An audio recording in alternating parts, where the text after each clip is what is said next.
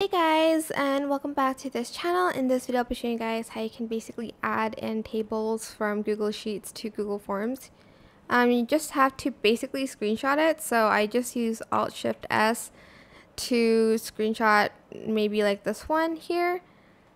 So just screenshot it and go to the party invite bit here and then select the, for instance, like the part where you want to add in the table select the image button here or here.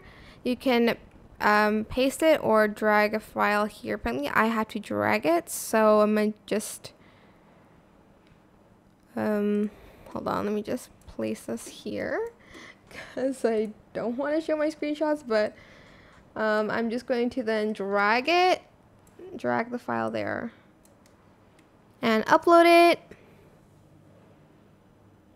and just wait for it to load and then there it is you can add in the title and blah blah blah and yeah that is it um, I hope this tutorial was helpful for you guys. Don't forget to like, comment, share, also subscribe to this channel if you haven't done that already. If you have any more questions, just leave it in the comment section down below.